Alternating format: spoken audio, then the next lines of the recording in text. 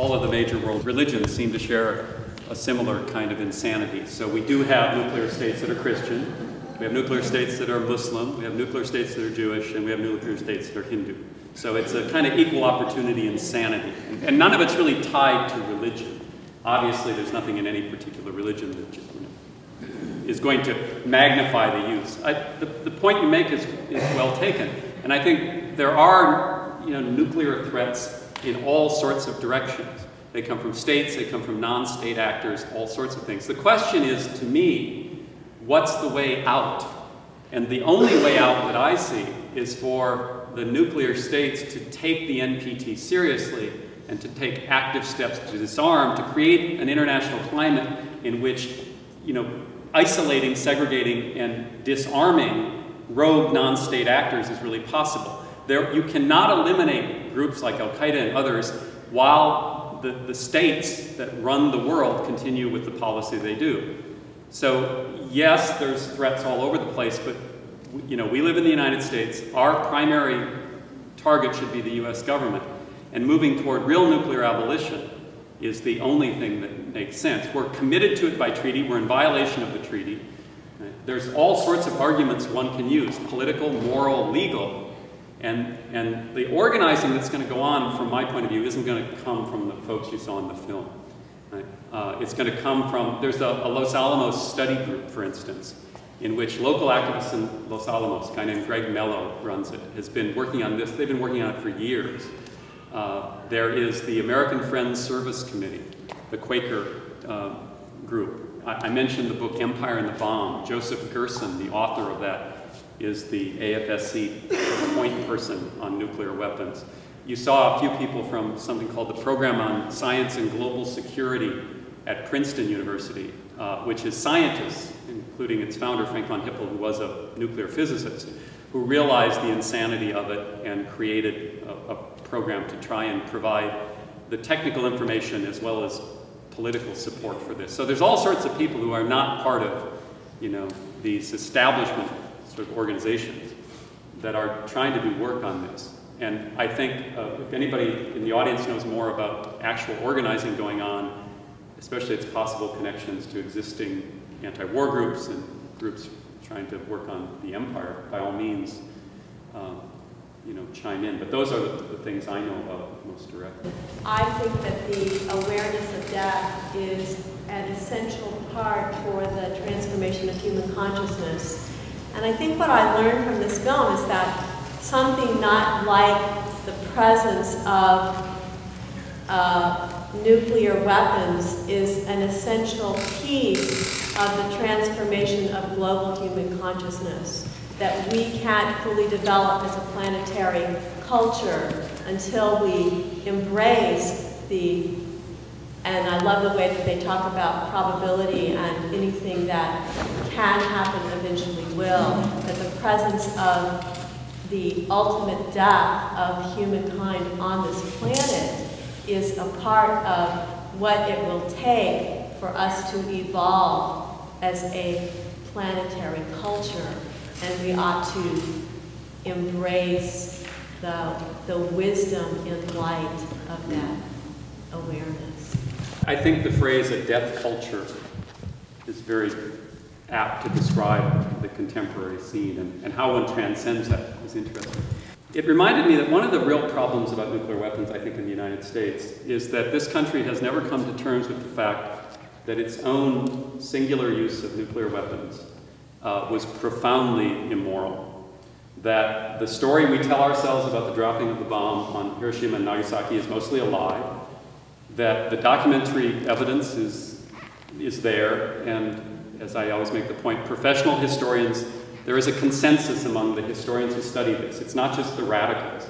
It's among, you know, middle of the road, contemporary professional historians, the consensus is very well established the United States dropped the nuclear weapons on Nagasaki and Hiroshima, not so much to end World War II, but to gain advantage in the emerging struggle with the Soviet Union. That it was a political act, not a military act. That it was not necessary to end the war, and that the story that you know a million American soldiers would have died if we had to invade, it, all of that is basically a lie. I'm not even going to call it a myth, it's just a lie. It was created to cover up the fact that U.S. officials engaged in one of the most, single most barbaric acts in recorded human history. And we have trouble coming to terms with that as a society.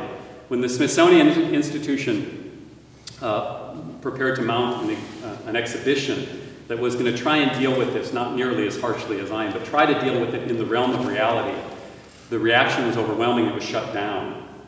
There was a threat to defund the Smithsonian. I mean, it was a, a huge trauma because the country simply, this was in the 1990s, simply couldn't come to terms with the fact that one of our revered leaders, Harry Truman, you know, Mr. Uh, uh, straight-talking man from Missouri, was a moral monster on a scale that really defies the imagination. And that, in fact, what stems from that, from my point of view, is that there was a moment when this nuclear future could have been rolled back. It's when the nuclear scientists who were working on the Manhattan Project came to understand that Germany was nowhere near getting a bomb, and that the justification that the United States had to develop, develop a bomb because Germany, if Germany had developed it first, we were going to be obliterated. When that was no longer a justification, a lot of the scientists within, or some of the scientists within the Manhattan Project, wrote a letter to FDR and said, "This, we have to, we have to pull a plug on this. We are, you know, messing with horror." And the United States pursued it because it understood this would be a weapon that was a source of power. And that's the moment that I think, as a country, we have to come to terms with. That is the, the kind of country we live in. Right? And that's very hard to come to terms with. And it's, quite frankly, out of World War II, it's as difficult as I think it is for Germans to come to terms with what happened in the Nazi regime. There's one key difference. The Germans lost, and they were forced to reckon with that. We have never been forced to reckon with this. Right? And it's a profoundly disturbing reality, but it is in fact the reality. Do you think Eisenhower and, and did he have some kind of conversion experience between, you know, World War II and, and his, uh, his warnings about the military-industrial complex? Uh, first of all, I think repentance is a, an, an important concept, but it requires acknowledgement of reality. You cannot repent for sin when you do not recognize you have sinned. If you came up and said, if I was pure of heart and never sinned, which happens to be true in my case, of course, and you came to me and said, repent, what would I say? How can I repent for that which I have not committed? Right? So there's a, this is why the, you know, people I say, well, I don't want to, let's get out of history. You can't deal with reality until you've dealt with history. And so until we deal with that collective history, we can't collectively repent, I think. Eisenhower, Eisenhower's an interesting character because basically, as far as I can tell, he's got great sort of retroactive PR. Everybody thinks about Ike as if he was this peacenik because he made one speech at the end of his tenure as president when he no longer was going to have power. You know, ex-presidents are very good at this is the Jimmy Carter model. You, know, you behave like every other president until you're out of power and then you, you have a conversion experience and you talk about all this stuff. And it's, it rings rather hollow for me. Right? Eisenhower, when I, I said Gerson has identified these 33 times the US government has used nuclear blackmail, it includes times during the Eisenhower administration. Right? So no, Ike was no great um, seer on these things as far as I can tell. Star Wars was a name for an elaborate missile defense system uh, that the Reagan administration conjured up. Most people thought then, and would agree now, sane people, that is, people who think like me, um, that it is technologically impossible to intercept missiles at the, the level that would really create a safe. It was the Reagan administration claiming this is how we make ourselves safe. Uh, politically, it was a disaster. We certainly don't have a functioning missile defense system. Uh, there were attempts to create some of the technology.